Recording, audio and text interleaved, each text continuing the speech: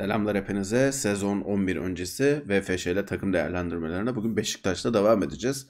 Beşiktaş aslında geçen mevsim fena bir çıkış yakalamamıştı. Özellikle e, işte genç parçalarından verim almasıyla birlikte yani işte Stinlamp'tan, Eramir'den, Reit'ten hatta bir de geçen mevsim transfer ettikleri destek oyuncusu Efias'tan da çok verim almalarıyla beraber aslında normal sezonu hiç de fena geçmemişlerdi ama başlardaki istikrar, başlardaki iyi oyunu sonlara yaş- e, sürdürememişlerdi.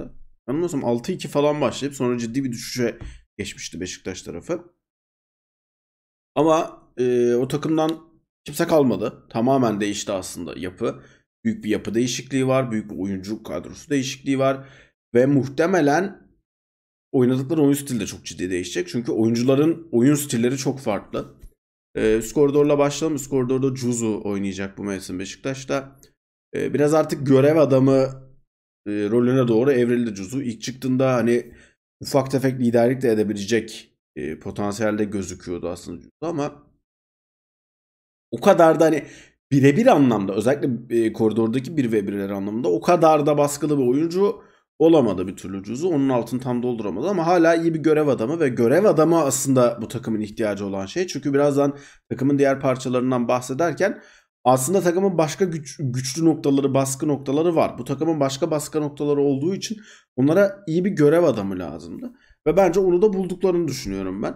E, faydalı olacaktır bence Beşiktaş adına. Yani en azından Beşiktaş'ı kurmak istediği yapıyı anlamaya çalışıyorum ve o yapıyı tutturabilirlerse o en sonunda bahsedeceğim tabii bundan ama bu yapıyı tutturabilirlerse Cuzu bu tarz bir yapının içerisinde fayda verir bence. E, Orman'a Robin geldi yeniden. E, Robin tabii Five Ronin'deyken ciddi bir çıkış yakalamıştı. E, Five Ronin'de yakaladığı ciddi çıkışın aslında e, temel bir tane sebebi vardı. Meta oynamadı Robin. Five Ronin de meta oynamadı. Five Ronin kendilerinin rahat ettiği bir oyun stili buldular ve metadan bağımsız bir şekilde bunu oynamaya karar verdiler ve bu Robin'e inanılmaz yaradı. Hiçbir koridorunda Five Ronin öyle ağım şam dümdüz etmiyordu rakipleri. Aşırı baskı kurmuyorlardı. Ama bir tane oyun stili buldular. Ya dediler ki bizim orta koridorumuz zaten güvenlik alabiliyor. Alt koridor da güvenlik alabiliyor. İki taraf güvenlik alsın. Biz habire üst koridora yatırım yapalım dediler. Bam gün üst koridora gittiler. Forsladılar bir şeyleri. Zorlama oynadılar yer yer. Ama çalıştı. Yapmak istedikleri şey belliydi. Çalışmayacağı noktalar da vardı ki zaten finalde çalışmadığı noktalarda da maç kaybettiler aslında ama önemli değil. Sonuçta bu, yani bu takımdan kimse playoff'a kalması bile bence başarılı olacaktı o takımın. Kadro ilk kurulduğunda. Finale gittiler. Çok büyük bir başarıydı bu. Ve bu başarının belki de en büyük en önemli parçasıydı e, Robin. Çünkü sezon boyunca belki de en iyi performans gösteren oyuncusuydu o takımın Umut'la beraber. E, çok ciddi bir çıkış yakaladı ve bu çıkış sayesinde belki de onun sayesinde yani tekrardan Beşiktaş'a döndü. E, Beşiktaş'ta benzer bir çıkış gösterebilir mi? Onu tabii zaman gösterecek. Çünkü bu takımın oyun yapısı farklı olacak. Burası yine Robin odaklı. Robin'in istediği stilde oynatacak mı bilmiyoruz. Ama en azından şöyle bir artısı var. Onun oynamayı sevdiği şampiyonlar ki başta Talya bunlardan örnek olabilir. Sezon 20 sezon 11'e, sezon 2021'e çok güçlü giriyor ormanda. O yüzden avantajlı bir başlangıç yapacağını söyleyebiliriz. E, orta koridora Vayena geldi. Vayena e, bir kısa dönem ara vermişti aslında. E, Dark Passage'dan sonra çok küçük bir dönem Aurora'da oynamıştı. E, yaklaşık 12 günmüş zaten ekranda yazıyor. Ondan sonra yaz mevsiminde pek gözükmedi ortalarda. Tekrardan şimdi Beşiktaş'a ve Beşiktaş'la birlikte dönüyor. Aslında DP'de oynadığı mevsimde bayağı iyi bir başlangıç yapmıştı ki o dönemin DPS çok çok iyi gidiyordu. Kuzu da oradaydı zaten. Bayağı iyi gözüken bir DP vardı. Sonra onlar da Beşiktaş'ın yaz mevsiminde yaşadığı problemlerin benzerlerini yaşadılar. Ve düşmeye başladılar ama orada gördüğümüz Vayna eğer bu mevsime de gelirse hatta üzerine biraz daha koymuş olarak gelirse çok ciddi fark yaratarak gelir. Çünkü o gördüğümüz Vayna çok sert şekilde rakibin üzerine gitmeye oynayan, çok baskılı oynamaya çalışan bir oyuncuydu ve bunu yapabilmek, en azından bir koridorda bu tarz ba- bir baskı kurabilmek işleri çok değiştiriyor sizin oyun planınızda. Özellikle ormancınızı çok rahatlatır eğer bunu orta koridordan yapabilirseniz. Bu aynadan beklentimiz o yönde bir performans gel- gelecek olması. Bunu gösterebilirse hala tabii daha çok zamanı var. Daha 2000'li sonuçta bu ayna. Daha uzun yıllar oynamasını beklediğimiz bir oyuncu. Ama o şekilde oynamaya devam etmesi lazım. Yani ilk çıktığındaki gibi ilk işte akademide oynamaya başladığında mesela backline gibi oynayan biraz pısırık gibi oynayan. Pısırık diye demek yanlış olabilir bir gerçi ama biraz daha çekinik ve geride oynayan, sorumluluk almaktan az çok çekinen bir oyuncu görüntüsü vardı. Mesela Umut'un görüntüsü de o şekildeydi. Umut ne zaman bu mevsim sorumluluk almaya başladı? O zaman gerçekten iyi gözükmeye başladı. Vayna bunu bence daha erken kırdı Umut'tan. Ama o kırmış halini tekrardan görmemiz lazım. Çünkü sadece bir mevsim gördük ve sonra bir ara verdi. Aynısını bekliyoruz o yüzden. Gelirse kendisi ve Beşiktaş için çok iyi olur. Gelmezse e, biraz sıkıntı çekebilirler bu konuda. Çünkü geçen mevsim yani yaz mevsiminde özellikle en azından Stilland'dan çok ciddi bir carry katkısı aldılar. Taşıyıcı katkısı aldılar. Ha oyun stilleri olarak farklı olmalarını çok bekliyorum Vayna ile ama buna alışmış olduğunu düşünebilirsiniz Beşiktaş'ın. Alt koridorda nişancı pozisyonunda Alive var. Alive aslında ilk ülkemize geldiğinde e, çok güzel bir tat bırakmıştı izleyenlerin ağzında. Aslında ikinci geldiğinde de güzel bir tat bıraktı. Yani ilk başta Paris'a geldi akademide oynamaya. E, çok beğenildi. Sonra Bursa Spor'da Japonya ile beraber oynandı, oynadı. Daha da beğenildi. Sonra bir sonraki mevsim yoktu burada. Latin Amerika'ya gitti. All Night'da oynadı yıl kadar. E, şimdi geri geliyor buraya. Ben açıkçası yani Türkiye'deki takımları kesinlikle bırakmaması gereken bir oyuncu olduğunu düşünüyordum ben. E, Latin Amerika'ya giderken de. Yani Kore'de As Lig'de oynamadığı sürece bence Türkiye'den bırakılmaması gerekiyor. As Lig'de oynayabilir mi? E, LCK'de oynayabilir mi? Ondan emin değilim. Yani o kadar yetenekli mi ondan emin değilim ama burası için yani burada oynayabilecek kadar yetenekli olduğunu ve net şekilde fark yaratabilecek kadar becerikli olduğunu da göstermişti aslında Alive. Hem de defalarca gösterdi.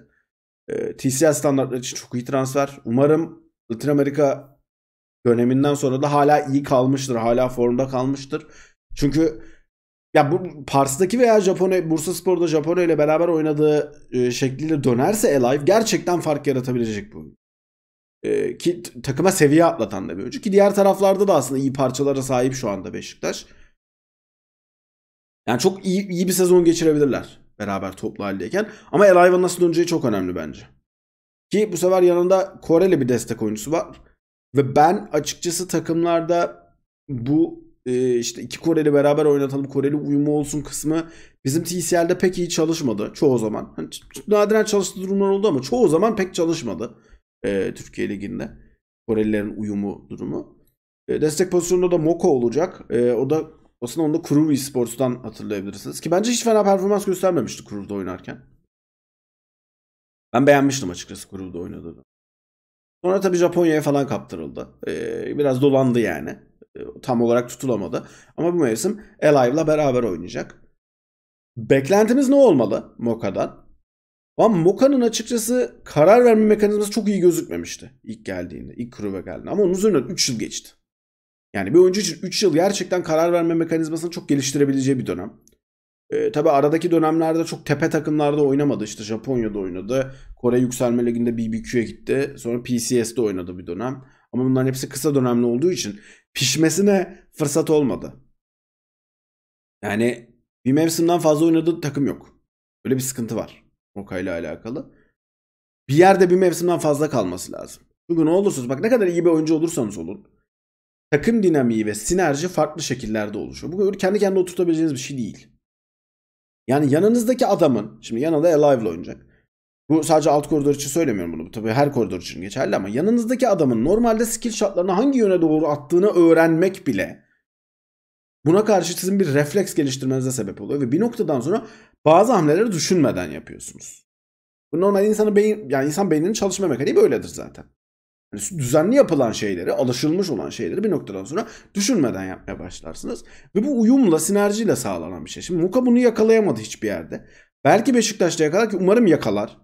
Rekabetçi bir, ta- bir takım daha ekler tepelere. Üst sıralara. Ama bunu yakalayabilirlerse ciddi şekilde ben Beşiktaş'ın ilk dördün içinde kalacağını düşünüyorum. Bunu yakalayamazlarsa o zaman ciddi problemler var. Playoff dışında kalma ihtimalleri muhtemel. Bunu yakalayamazlarsa. Çünkü bu takımın Hani bireysel anlamda fark yaratabilecek parçaları var. Evet işte oyun stiline uygun kurarsanız Robin yapabilir. Vayna yer yer yapabilir. Elive bunu yapabilir ama yer yer yapabilirler. Bütün sezonu size kazandırarak götüremezler. Bu takımın ne olursa olsun bir arada oynamaya ihtiyacı var. Bu takımın Juzu'yu takımın bir parçası olarak dahil etmesine ihtiyacı var. Çünkü bu adam yani Juzu'yu ele aldığımız zaman mesela bireysel anlamda koridorunu döven, ezen bir adam değil. Ama iyi takım savaşı yapan, ne zaman telef ışından atması gerektiğini bilen, pozisyon almasını bilen, peel yapmayı bilen bir oyuncu var elinizde. Sizin o zaman uyumlu olmanız gerekiyor. Aynı şey aslında Moka için de geçerli. Onun karar verme mekanizması ilk geldiğinde çok iyi değildi. O zaman karar verme mekanizmasını takımın geneline kontrol ederseniz yani bütün e, yapının içerisi bir kararlı halde oynarsa Moka'nın bireysel, bireysel olarak karar vermesine gerek kalmaz. 200 IQ. Çok basit bir sistem aslında. Ve bunu yaparsanız takır takır işleyen bir destek oyuncunuz da olur. Evet yer yer size Alive maç kazandırabilir ama Alive'ın da kötü maçları var. Evet yer yer size Vayna maç kazandırabilir ama Vayna'nın da kötü maçları var. Bu adamların hiçbir gidip de size sezonun tamamını düzenli olarak maç kazandırmayacaklar. O yüzden bu takımın çok ciddi bir şekilde sinerjiye ve uyuma ihtiyacı var. Bunu yakalarlarsa ellerindeki malzeme yetenek olarak ilk dörtte kalır. Bunu yakalayamazlarsa playoff'ta ciddi, playoff, playoff'a kalma konusunda bile ciddi problem yaşayabileceklerini söyleyebilirim. Ama kağıt üzerinde iyi bir kadroları var. Onu da net söyleyeyim. Kağıt üzerinde iyi bir kadrosu olduğunu düşünüyorum ben Beşiktaş'ın. Beklentim dördüncü olmaları yönünde. Bu sezon içerisinde. Ee, tabii playoff'ta ne olur bilmiyorum ama normal mevsimi dördüncü olmaları yönünde. Ee, bekliyorum. Neden 4'te bekliyorum onları? Yani işlerin iyi gittiği senaryoda 4'te bekliyorum diyeyim. E, ee, 4-5 veya 6'nın içerisinde kalacaklar bence. Neden orada bekliyorum? Çünkü bireysel anlamda yeteneğe sahipler. Sorumluluk alabilecek oyuncuları var. E, ve bu oyunculardan herhangi bir tanesi yani sorumluluk alabilecek oyuncular dediklerimizden örnek verdiklerimizden herhangi bir tanesi daha önce geçmişinde de aslında sorumluluk alıp maç taşıyabildiğini gösterdi. Bu da size normal sezonda aslında bir şekilde playoff'a atabilecek durumlardan bir tanesi. Ha bunu 9-9'la da atabilirsiniz. İşte 12-6 ile de atabilirsiniz. Hangi tarafta kalacağınız takımın uyumuna, sinersine nasıl gideceğine bağlı. Ben uyum yakalarlarsa çok iyi olacaklarını düşünüyorum. Uyum yakalayamazlarsa çanlar çalacak ve muhtemelen moka gidecek bir noktadan sonra. Yani 6 aydan fazla bir takımda kalsın artık bu adam ya. Neyse Beşiktaş hakkındaki beklentim bu yönde.